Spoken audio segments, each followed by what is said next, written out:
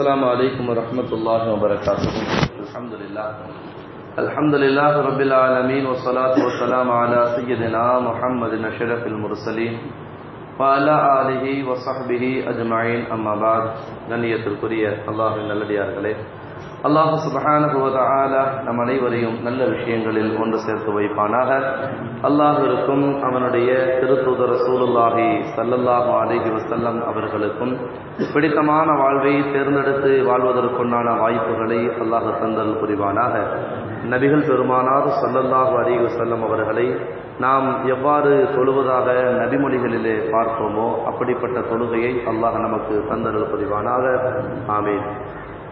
கண்ணியத்திற்குரிய அல்லாஹ் நல்லடியார்களே.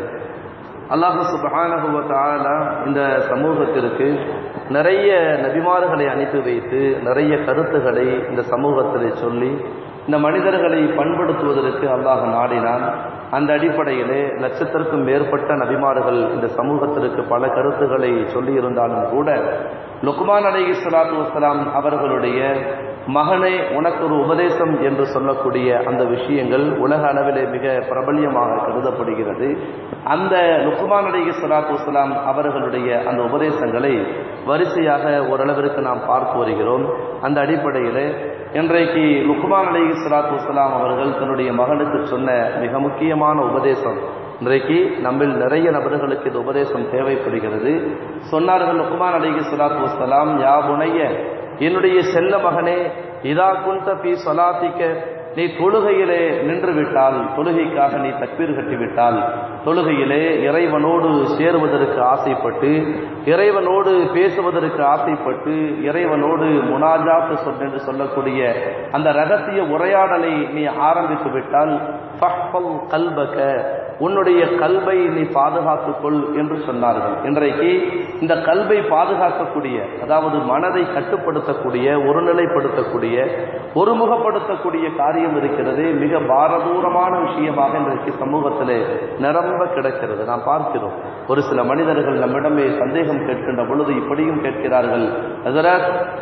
தொழுகை அல்லாத நேரங்களில் கூட இறைவனுடைய சிந்தனை சற்று மிகைத்து காணப்படுகிறது. ஆனால் தஸ்மீர் கட்டியதற்கு பின்னால் எல்லா சிந்தனைகளையும் எங்களுடைய உள்ளங்களில் வந்து போய் கொண்டிருக்கிறது. நாங்கள் என்ன செய்வது என்று சில நபர்கள் கேள்வி கேட்கிறார்கள். இதே போல நிறைய சகாபாக்களும் நபிகள் நாயகம் சல்லல்லா அலிகஸ்லம் அவர்களிடத்திலே கேள்வி கேட்டிருக்கிறார்கள் என்று நாம் கிதாபுகளில் பார்க்கிறோம். அபுதாவுத் என்று சொல்லக்கூடிய கிதாபிலே அமருபின் ஆஸ் என்று சொல்லக்கூடிய ஒரு சஹாபி அமருபின் ஆஸ் அப்துல்லாஹிபின் அமருத் என்று சொல்லக்கூடிய சஹாபி ரசூலுல்லாஹி சல்லல்லாஹ் அலிகஸ்லாம் அவர்களிடத்திலே சென்று கேட்டார்கள் யார் ரசூல் அல்லாஹ் அல்லாஹுடைய தூதரவர்களே என் தாயும் தந்தையும் தங்களுக்கு அர்ப்பணமாகட்டும். நான் தக்பீர் கட்டி தொழுவதற்கு ஆசைப்படுகிறேன். நான் தக்பீர் கட்டில் இருக்கக்கூடிய சமயத்தில் சில சமயங்களில் நான் குரானினுடைய வசனங்களில் எதை ஓதினேன் என்று சொல்ல முடியாத அளவிற்கு மனக்குழப்பம் ஏற்படுகிறது.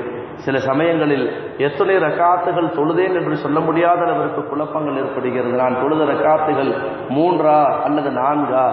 அல்லது நான் ஐந்தாவது ரக்காத்து தொழுகிறேனா என்ற சிந்தனை கூட இல்லாமல் என்னுடைய தொழுகையில் நிறைய குழப்பங்கள் இருக்கிறது யார சூழல்லா எனக்கு மிக மனதை கஷ்டமாக இருக்கிறது யார சூழல்லா என்று இந்த சஹாபி நபிகள் நாயகம் சல்லல்லாஹ் அலிகஸ்லம் இடத்தில் கேட்ட பொழுது நபிகள் பெருமானார் சல்லல்லாஹ் அலிகஸ்லம் அவர்கள் சொல்லிக் கொடுத்தார்கள். நீங்கள் தொழுகின்ற பொழுது அவுது பில்லாஹி மின ஷைத்தான் ரஜீம் என்று ஓதி பின்னால் என்று அவுது பில்லாஹி மின ஷைத்தான் ரஜீம் என்று சொல்லிட்டு மின் ஹம்சிஹி ஒ நபசிஹி ஒ ஷைத்தானுடைய ஊசலாட்டங்களில் இருந்தும் ஷைத்தானுடைய அந்த தீண்டுதலில் இருந்தும் யா அல்லாஹ் உன்னிடத்தில் பாதுகாப்பு தேடுகிறேன் என்ற இந்த துவாவை நீங்கள் ஓதிக்கொள்ளுங்கள் உங்களுடைய தொழுகையில் நல்லதொரு மாற்றம் ஏற்படும் என்ற நபிகள் பெருமானார் சல்லல்லா அலிக செல்லம் சொல்ல இந்த சஹாபியும் அப்படி ஓதுகிறார்கள். அப்படி ஓதியதற்கு பின்னால் ஒரு வாரம் கழித்து அதே சஹாபி நமக்கு சொல்லிக் கொடுக்கிறார்கள் ஹதீஸ்ல வந்திருக்கிறது.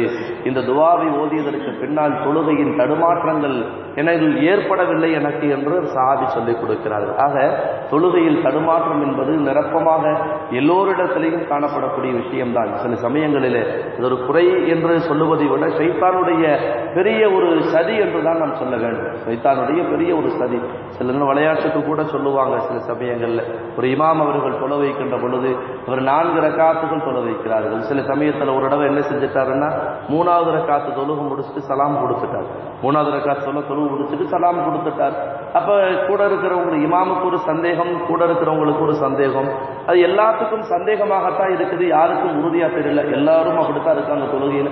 யாருக்கும் உறுதியா இல்லை. ஒரு மூணா நாலான்னு தெரியல சரி நாலுங்கிறப்ப ஒரே ஒருத்தர் உறுதியா சொல்றாரு இல்ல இல்ல நீங்க நாலு ரெக்கா தொழுக வைக்கல மூணு ரெக்காத்து தான் தொழுக வச்சீங்கன்னு சொல்றாங்க. எப்படி நீங்க இவ்வளவு உறுதியா சொல்றீங்க அப்படின்னு கேட்கிறப்ப அவர் சொல்றாரு எனக்கு மொத்தம் நாலு கடை இருக்குது மூணு கடை கணக்கு தான் பார்த்தேன் நாலாவது கடை கணக்கு பார்க்கறதுக்குள்ள நீங்க சலாம் சொல்லிட்டீங்க அப்படின்னு அவர் சொன்னாருன்னு விளையாட்டுக்கு சொல்லுவார். கண்ணியத்திற்குரியவர்களே இதை போலத்தான் இன்றைக்கு பெரும்பாலும் ஒவ்வொரு ரெக்காத்துகளிலேயும் ஒவ்வொரு சிந்தனைகள் தான் நம்முடைய உள்ளத்தில் ஓடுகிறது. நான் அங்கு போக வேண்டும் கடையில் அது வந்து வந்துச்சா இல்லையான்னு தெரியல. போன்ல யார் வந்திருக்கா? மிஸ்டு கால் வந்திருக்கு யாருன்னு தெரியலையே அப்படியே இப்படி அப்படின்னு பல்வேறு சிந்தனைகள் உள்ளத்தில் ஓடிக்கொண்டே இருக்கு. இந்த சிந்தனையெல்லாம் மாற்றணும்னா முதல்ல என்ன செய்யணும்னா நம்முடைய இமாம் பெருமக்கள் நமக்கு ஒரு அழகான விஷயத்தை சொல்லி தர்றாங்க. நீ எப்பொழுது தொழுதாலும் இதுதான் உன்னுடைய கடைசி தொழுகை என்ற எண்ணத்தோடு தொழு. உன்னுடைய தொழுகையில் ஒரு பயபக்தி ஏற்படும் என்று சொல்லியிருக்கிறார்கள் தொழுகின்ற பொழுது எனக்கு பின்னால் இஸ்ராயல் அலி இஸ்ராத் வஸ்லாம் இருக்கிறார்கள். என்னுடைய தொழுகை இந்த தொழுகை இருக்கிறது இதுதான் கடைசி தொழுகை. இதற்கு பின்னால் தொழுவதற்குண்டான வாய்ப்புகள் கிடையாது. என்னுடைய ரூபு போய்விடும் என்ற எண்ணம் என் உள்ளத்தில் மிகைத்திருக்க வேண்டும். அப்படிப்பட்ட ஒரு சூழலிலே இந்த தொழுகை இதற்கு முன்னால் தொழுத தொழுகை எல்லாம் அல்லாஹ்விடத்திலே கபூல் செய்யப்பட்டதா ஏற்றுக்கொள்ளப்பட்டதா இல்லையா என்று தெரியவில்லை. ஆனால் இந்த தொழுகை எனக்கு ஒரு பெரிய வரமாக கிடைத்த தொழுகை. இந்த தொழுகையை நான் சரியாக தொழுது விட்டால் அல்லாஹுவிற்கு பிடித்தமான முறையிலே தக்பீர் கட்டியதிலிருந்து அல்லாஹு அக்பர் என்று சொன்னதிலிருந்து அஸ்லாம் அலைக்கும் வரஹ்மத்துல்லாஹ் என்று சொல்லுகின்ற வரை இறை சிந்தனையை தவிர வேறு எந்த சிந்தனையும் வந்துவிடக்கூடாது.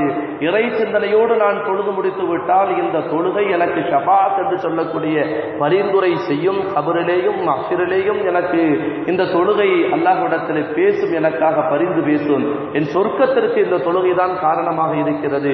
அல்லாஹுடைய கோபத்திலிருந்தும் நரகத்திலிருந்தும் பாதுகாப்பதற்கு பாதுகாக்கப்படுவதற்கு இந்த தொழுகைதான் காரணமாக இருக்கிறது என்ற எண்ணத்தை ஒவ்வொரு தொழுகையிலேயும் நீங்கள் உருவாக்கி கொண்டால் உங்களுடைய தொழுகையில் உங்களுடைய மனது அலைபாய்வதிலிருந்து பாதுகாக்கப்படும் என்று நம்முடைய இமாம் பெருமக்கள் சொல்லிக் கொடுத்தார்கள்.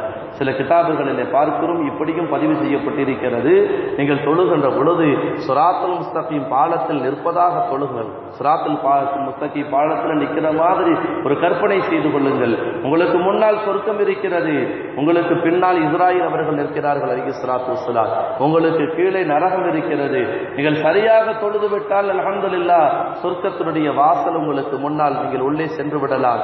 உங்களுடைய தொழுகையில் இறை சிந்தனையை தவிர்த்து வேறு சிந்தனைகள் வந்துவிட்டால் பின்னால் இருக்கக்கூடிய இஸ்ராயில் அலி சலாத்து வசலாம் அவர்கள் ரூகை வாங்கி உங்களை கீழே தள்ளிவிட்டு விடுவார் நரகத்தில் விழுந்து விடுவோம் என்ற அச்ச உணர்வை ஒவ்வொரு தொழுகையிலையும் நீங்கள் ஏற்படுத்தி கொண்டால் உங்களுடைய மனது அலைவாயாது என்று நம்முடைய இமா பெருமக்கள் சொல்லித் தருகிறார்கள்.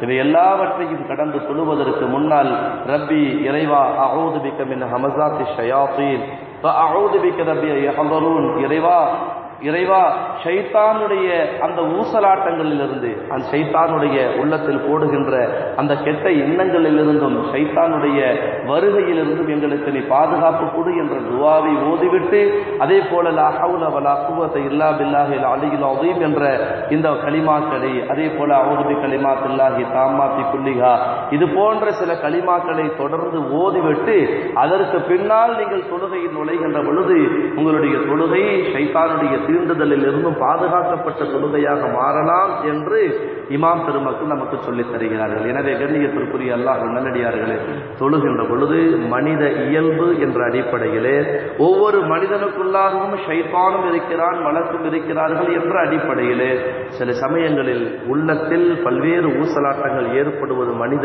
இயல்பு ஆனால் அதை கடந்து அதை நீக்குவதற்காக அந்த ஊசலாட்டங்களிலிருந்து தவிர்ந்து கொள்வதற்காக தொழுகைக்கு சற்று முன்னால் வந்து அமர்ந்து மனதை ஒருநிலைப்படுத்திவிட்டு தொழுகின்ற பொழுது அல்லாஹ் அந்த தொழுகையில் மன நிம்மதியை தருவான். அந்த தொழுகை தான் நம்மை சொர்க்கத்திலே கொண்டு போய் சேர்க்கும் என்பதை நாம் மனதிலே வைத்துக் கொள்ள வேண்டும். இமாம் பெருமக்களில் சிலர் இப்படியும் சொல்லுவார்கள். பள்ளிவாசலுக்கு வந்து உட்கார்ந்து தக்பீர் கட்டுறதுக்கு முன்னாடி ஒரு ரெண்டு நிமிஷம் நீங்க உட்கார்ந்து மனசை கொஞ்சம் ஆசுவாகப்படுத்தி உள்ளத்துல உள்ளத்துல எல்லா சிந்தனைகளையும் கொண்டு வந்து இது எல்லாவற்றையும் விட அல்லாஹுடைய சிந்தனை பெரிது என்ற சிந்தனையை உருவாக்கி மற்ற எல்லா சிந்தனைகளையும் திரும்பிப்படுத்தி நீங்கள் உள்ளத்திலிருந்து வெளியேற்றிவிட்டால் தொழுகின்ற பொழுது அல்லாஹுடைய சிந்தனை மனதில் நிரப்பமாக இருக்கும் என்றும் நமக்கு பல யோசனைகளை சொல்லித் தருகிறார்கள். அல்லாஹு சுபஹானஹு அவனுக்கு பிடித்தமான முறையில் தொழுவதற்குண்டான வாய்ப்புகளை தந்தரல் புரிவானாக.